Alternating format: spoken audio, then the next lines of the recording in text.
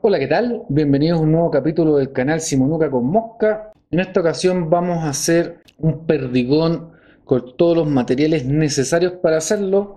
No sé si se recuerdan en capítulos anteriores en donde atamos moscas tipo perdigón, como la que ven ahí. Voy a dejar un link en la descripción del video. Utilizamos materiales, en este caso en particular, anzuelo y bighead alternativos. No es que no funcionen ni que no sirvan, incluso la mosca que ven aquí me dio muy buenos resultados en la región de la Araucanía. Saqué lindas farios con esta mosca específicamente cerca de la región de Lonquimay.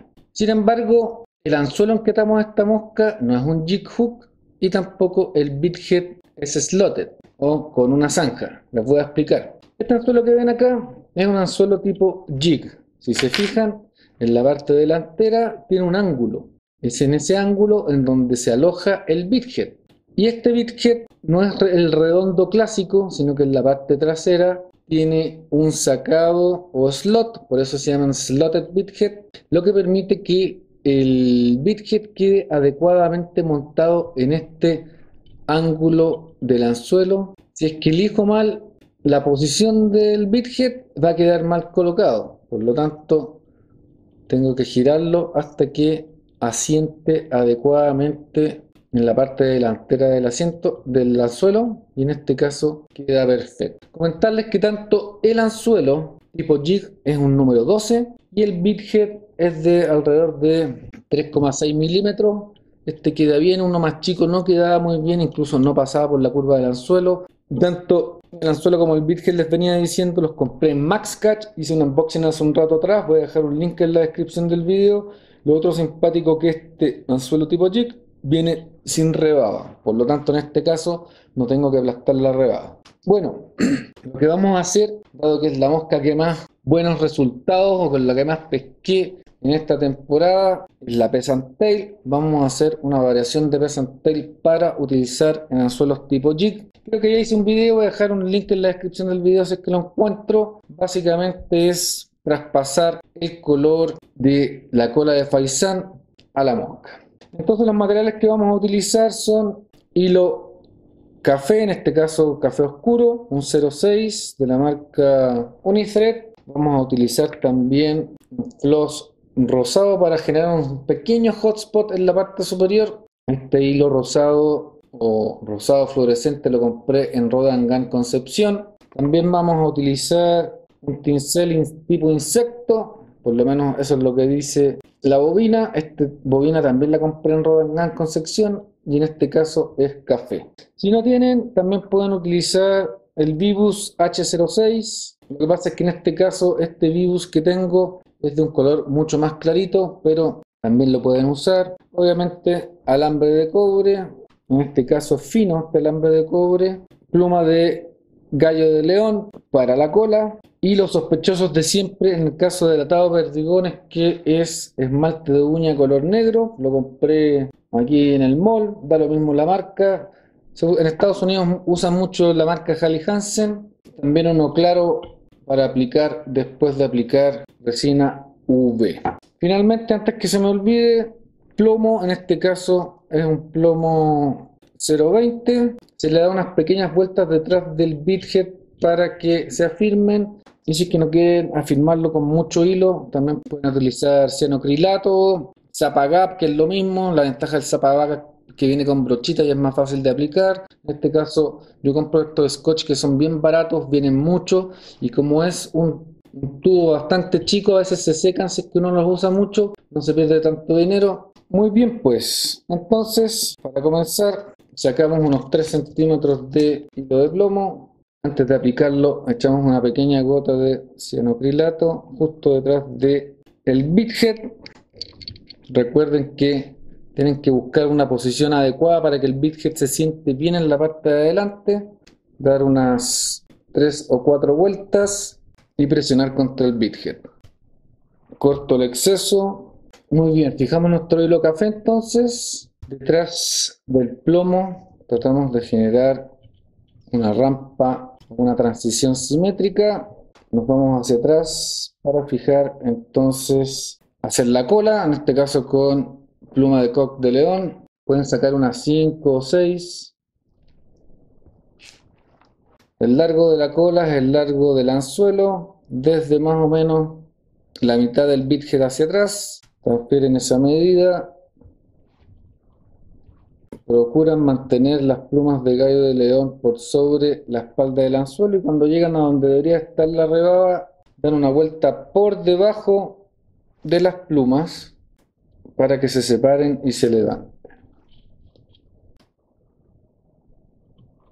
Cortan el exceso, toman un pedazo de cobre unos 10 centímetros más o menos, lo fijan procurando que quede la punta, no pase donde empieza a enrollarse el plomo. Y eso les ayuda a generar un cuerpo o una base simétrica.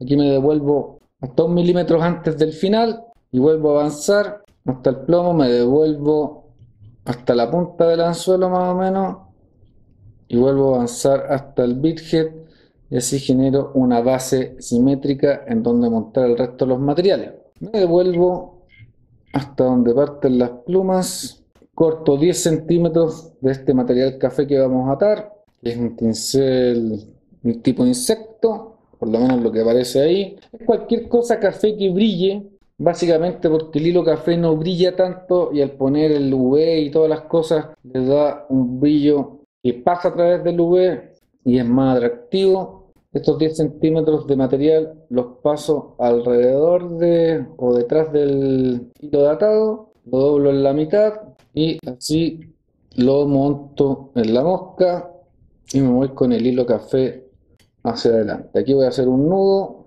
para no perder todo el trabajo y aprovechar la prensa rotatoria. Entonces avanzamos hacia adelante con este material procurando cubrir todo el hilo o la base de manera homogénea. Nadie nos apura y cuando llegamos al final fijamos con nuestro hilo café. Cortamos el exceso voy a volver a hacer otro nudo. Y ahora nos vamos hacia adelante con el hilo de cobre.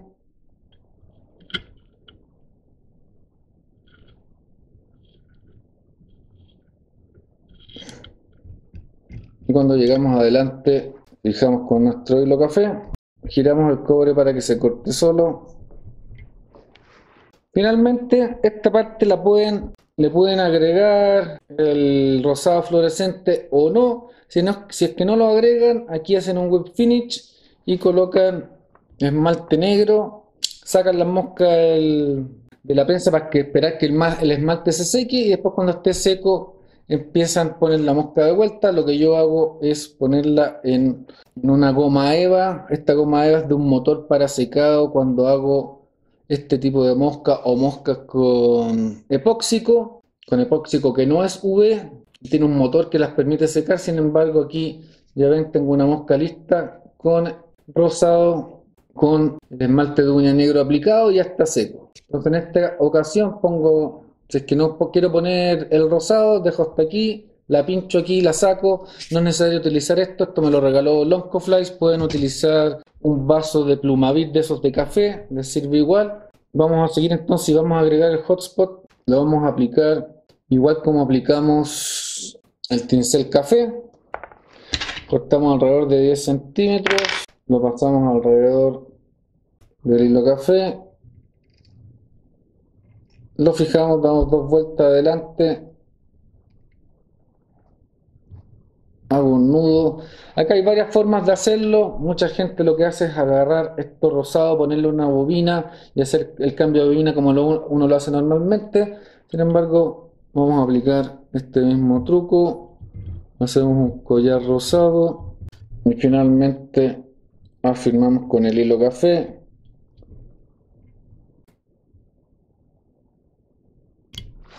Cortamos el exceso y aquí este hilo café, en vez de hacer un web finish, hacemos un half hitch, dos veces solamente. Aquí no me preocupa no hacer un web finish porque está todo cubierto con resina UV. cortamos nuestro thread, así es como va quedando la mosca. Lo único que falta entonces es ponerle el esmalte de uña negro. Algunos lo ponen aquí encima y otros lo ponen aquí abajo. Voy a explicar ahora por qué. Este tipo de anzuelos, los anzuelos tipo jig, cuando se pescan, usualmente así es como van debajo de la superficie del agua, con la punta del anzuelo hacia arriba. Esto hace que estos tipos de anzuelos, por eso es que la pesca tipo europea o española, utilicen este tipo de anzuelo, porque la principal razón de no utilizar cañas de 11 pies y no utilizar la línea para pescarlas es primero evitar la resistencia del agua, pero principalmente la resistencia del agua y el diseño de las moscas son para que lleguen a fondo rápido. Y como estas moscas se pescan a fondo, este tipo de anzuelo evita que se pasen enganchando en el fondo del río porque a la medida que va avanzando la mosca, la punta del anzuelo nunca se engancha en las piedras o lo que haya en el fondo del río. Entonces algunos prefieren poner el esmalte negro aquí arriba, otros lo ponen como normalmente lo ponemos ahí. Yo lo voy a poner donde normalmente lo colocamos. Es un puntito negro. Como ese, si no tiene que ser mucho. Espero que se aprecie bien ahí. Y entonces utilizamos o nuestro vasito de Plumavit, de esos que te dan cuando uno toma café, o algo donde las podamos pinchar y se sequen adecuadamente. Entonces vamos a sacar la otra que ya tenía preparada para aplicar la resina UV. Lo que explicaba mientras he hecho la resina UV les voy a explicar algunas otras cosas lo que expliqué hace un rato, cuando yo partí haciendo este tipo de moscas, lo hacía con materiales normales, pero la resina UV es absorbida por esos materiales, por lo tanto es importante o se debe procurar utilizar materiales sintéticos, así la resina UV no se absorbe tanto. Después que aplicamos nuestra resina UV, la curamos con nuestra linterna UV.